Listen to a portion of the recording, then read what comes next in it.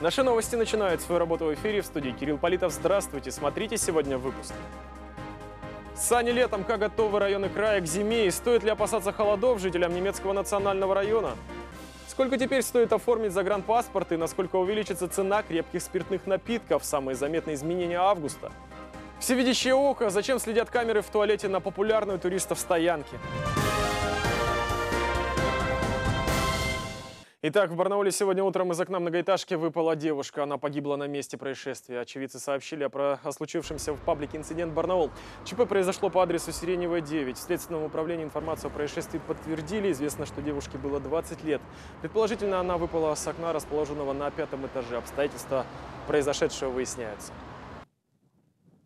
Жилищно-коммунальный сектор Алтайского края готов к зиме на 60%. На подготовку к отопительному сезону краевые власти в этом году направили около миллиарда рублей. Средства пошли на строительство модульных котельных и реконструкцию теплосетей. Одну из новейших котельных накануне запустили в Алейске. Ее оценил в Рио губернатора Виктор Томенко. Он побывал на объекте и рассказал, готов ли край встретить холода. Подробности далее. Тепло от этой котельной получит больше половины жителей Алейска. Стоимость нового объекта почти 70 миллионов рублей. Его строительство позволило закрыть пять небольших устаревших котельных, которые наносили серьезный экологический вред городу. Одно из преимуществ теплообъекта – его экономичность. Горожанам не придется платить по двойным тарифам. Стоимость тепла останется прежней. Если раньше было э, более 40 э, кочегаров, которые обслуживали 5 котельных, то на сегодняшний день э, всего 20. Э, плюс ко всему современное энергоэффективное оборудование и расход угля, как бы это тоже мы просчитывали в пределах э, 10-12% снижения по расходу угля. К началу отопительного сезона еще 12 подобных котельных появятся в 9 районах края, в том числе в селе Кусак немецкого национального района, где минувшей зимой из-за крупной аварии на теплосетях вышла из строя котельная. В результате чего тысячи человек больше месяца замерзали в своих домах. Новое современное оборудование гипернадежно. Риск, что оно внезапно выйдет из строя, практически равен нулю, уверяют краевые власти.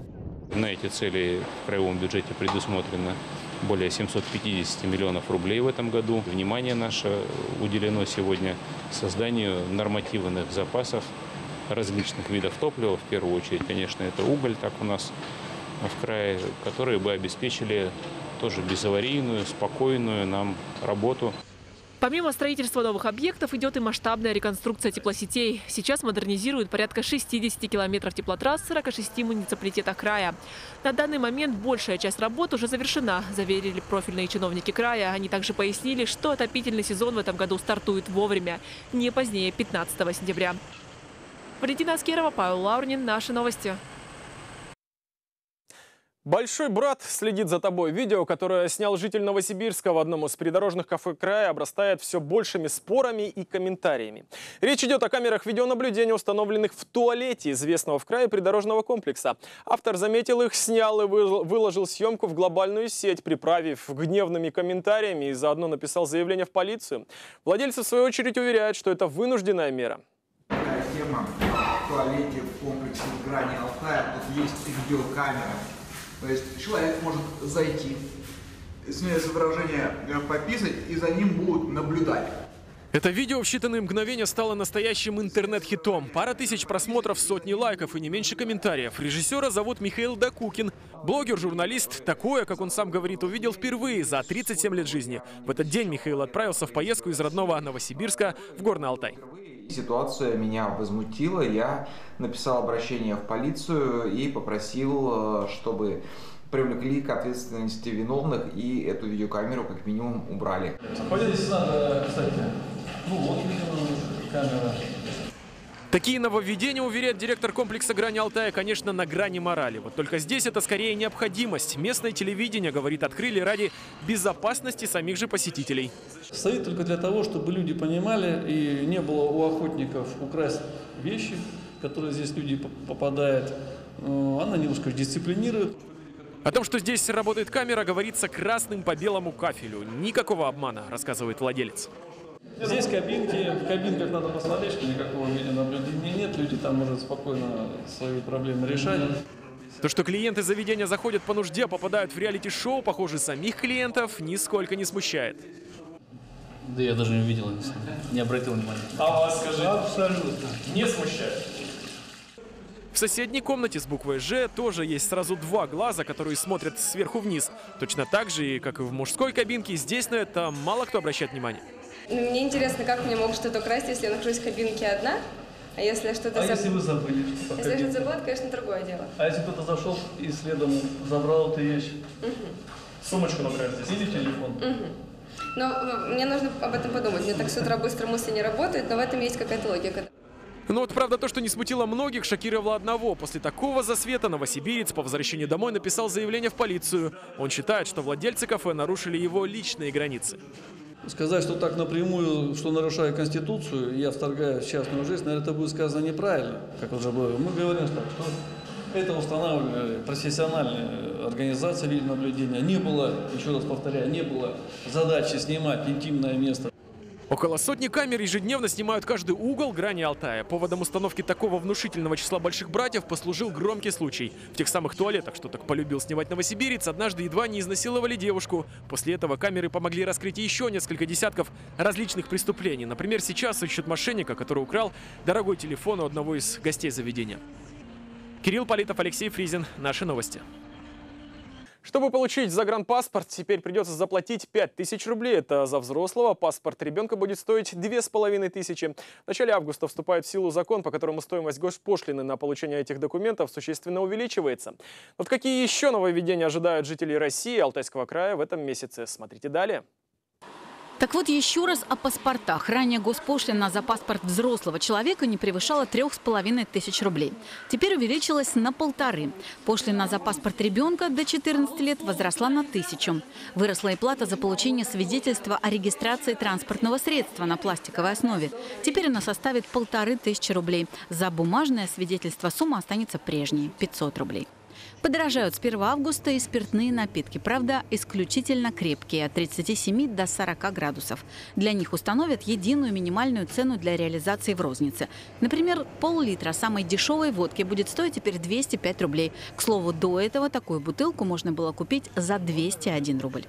Еще одно новшество касается расписания движения поездов. С 1 августа прибытие и отправление будет указываться в билетах только по местному времени с пояснением, насколько оно расходится с московским. Ранее указывалось столичное время, а также местное. Ну и в завершении новость, которая будет интересна работающим пенсионерам. Если работодатели выплачивали за них страховые взносы в 2017 году, то с 1 августа пенсия этих людей вырастет. Максимальная прибавка составит 235 рублей. Кстати, по данным на 1 мая в России сейчас 9 миллионов работающих пенсионеров.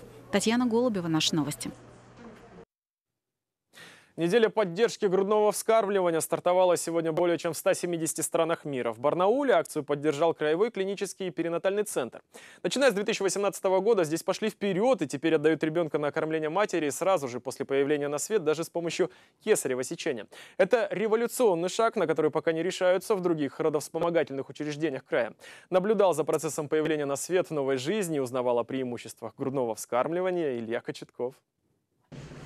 Для Вероники Крахмалевой нынешняя беременность долгожданная. Она трижды не могла стать матерью, и вот, наконец, счастье ей улыбнулось. Врачи рекомендовали кесарево сечение и после операции сразу приложить ребенка к груди. Такое обычно не практикуют, но Вероника согласилась, не раздумывая. Это будет лучше для ребенка, как бы и витамины, иммунитет, и как бы связь с матерью. Менее чем полчаса спустя Вероника уже в операционной. Местный наркоз позволяет оставаться в сознании. Операция проходит быстро, и вот свершается долгожданное чудо. Чудо появления новой жизни. Знакомьтесь, девочка Василиса, 2 килограмма 840 граммов. Немного покричав на собравшихся, она тут же изъявила желание отобедать. Ребенок, видите, начинает облизываться, начинает язык показывать. Это первые признаки того, что он готов к сосанию. Грудное вскармливание – то, на чем настаивают акушеры перинатального клинического центра. Всем пациенткам здесь рекомендуют, разумеется, исключая особые случаи и противопоказания, кормить ребенка грудью с первой минуты жизни.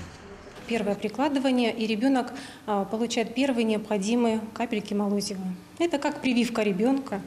И происходит необходимое заселение микрофлоры кишечника, что очень важно. Алтайский перинатальный пока единственный в крае, где практикуют настолько раннее грудное вскармливание. Нововведению меньше полугода, но за это время врачи получили массу положительных отзывов. У Натальи эти роды пятые, все через Кесарева. И до сих пор по старинке ребенка ей приносили через сутки двое. Здесь сразу после рождения. Ребенку, во-первых, понравилось, он прям присосался так. Вот. Ну и у меня какие-то ощущения, что не знаю, как связь какая-то с ребенком. Врачи говорят, иногда младенец отказывается принимать грудь сразу, и мамы считают это поводом переходить на искусственное вскармливание. Они уверены, это ошибка, и рекомендуют быть настойчивее. Тогда младенец обязательно, что называется, распробует. Об этих и других тонкостях и премудростях грудного вскармливания они намерены рассказывать участникам школы для будущих родителей на протяжении этой и в начале следующей недели. А маленькая Василиса уже преуспевает в новом и пока главнейшем для нее умении – Илья Кочетков, Александр Антропов. Наши новости. Барнольские динамовцы уверенно вошли в схватку за Кубок России. Наши футболисты открыли сезон победой в 1-64 финала. Бело-голубые обошли Омский Иртыш со счетом 4-1. Подробнее об этом расскажет гроза алтайского пауэрлифтинга Станислав Сергеев. Он уже не терпит, чтобы поделиться хорошими новостями. Спасибо, коллега! «Динамо» и «Иртыш» для обоих клубов это была первая официальная игра в новом сезоне. Основное время матча завершилось в ничью 1-1. И гол! Счет открыл на 67-й минуте игрок хозяин в поле Константин Погребан. Но спустя 5 минут полузащитник Иртыша Илья Берковский его сравнял. Исход игры решила серия пенальти. Если чемпионы мира сборная Франции бурно и неприлично отмечают победу в клубах, чем сейчас возмущены фанаты, наши динамовцы более скромные. Отдыхать некогда. Сегодня восстановительная тренировка. Кому сейчас тоже нельзя расслабляться, так это Сергею Шубенкову. Он сейчас готовится к чемпионату Европы по легкой атлетике, который стартует 8 августа. Спортсмен находится на сборах в подмосковной базе Новогорск. Напомню, что наш, легкоатлет пока единственный спортсмен, которому удалось пробежать 110 метров с барьерами быстрее 13 секунд. И Барнаулис заявил, что готов рвать своих соперников. Что ж, желаем ему победы! И еще за одного нашего земляка мы держим кулаки 34-летний Алексей Кунченко пройдет боевое крещение на бойцовском чемпионате в Москве. Дебютирует он 15 сентября. Непобежденный боец из Благовещенского района встретится с бразильцем Тиагу Алвисом, бывшим претендентом на титул чемпиона UFC в полусреднем весе. Всего на счету Кунченко 18 боев в смешанных единоборствах, в которых он одержал 18 побед. 14 из них досрочно. Еще раз респект нашим бело-голубым. Матч 1-32 финала Кубка России пройдет в Барнауле 22 августа. Соперником футболистов «Динамо» станет одна из команд ФНЛ – Дон, Сибирь или Тюмень. На этом у меня все. Эти две с небольшой минуты вы провели вместе со мной, Станиславом Сергеевым. Желаю вам эффективного времени. Твори, дари, благодари. Эстафетную палочку передаю вновь в студию. Спасибо, Станислав. В Барнауле открылся пятый офис одного из крупнейших агентств недвижимости страны. Компания «Жилфонд» прочно укрепилась на рынке риэлторских услуг. За 6 лет работы в столице края тысячи удачных сделок. Теперь их станет еще больше. Более 700 квадратных метров. Просторный кабинет, учебный центр, конференц-зал. Сотрудники жилфонда вспоминают, самый первый офис в Барнауле, который открылся 6 лет назад, был рассчитан всего на 30 специалистов. Здесь же их будет работать 130. Расширение стало необходимостью. В компании с каждым годом растет число клиентов. Почему жилфонд? Потому что это безопасно. Это квалифицированные специалисты. Они проходят очень много уровней на самом деле подготовки и постоянной аттестации. Когда клиент обращается, он может быть уверен в том, что сотрудник был оценен не только им, но еще стандартами компании и внешними аудиторами. Сфера риэлторских услуг – рынок небезопасный, поэтому жилфонд несет финансовую ответственность перед своими клиентами, гарантируя надежность каждой сделки – от консультации до сдачи документов. В агентстве четкие принципы работы. Не проводить сделки любой ценой, если есть сомнения, отказаться и гарантировать клиентам то, что вот вы купили квартиру, а не проблему. У каждого агентства недвижимости действительно есть свое лицо, но в жилфонде есть нечто, то, что объединяет весь жилфонд. Это строгость, четкость. В агентстве помогут купить, продать или обменять недвижимость, подобрать квартиру в готовом доме или в новостройке, а также варианты коттеджей, земельных участков и дач. Также здесь выгодно оформить ипотеку. Жилфонд сотрудничает с ведущими банками, которые делают скидки клиентам агентства. И в завершении выпуска о погоде спонсор прогноза погоды – компания «Эвалар». А какой глицин принимаете вы? Принимайте глицин Форте Эвалар. Он отличается высоким содержанием глицина, усиленного витаминами для мозга. Качество гарантировано международным стандартом GMP. Глицин Форте Эвалар. Почувствуйте разницу. 2 августа на большей территории края ясно, без осадков. В Бийске и Змеиногорске до 24 тепла. В Славгороде, Рубцовске и Олеске 23 выше 0. В Барнауле переменная облачность, ветер юго-западный умеренный. Ночью 10-12 градусов, днем до 25 тепла. Напоминаю, телефон редакции в Барнауле 722 440. Это все новости к этому часу. До встречи в эфире.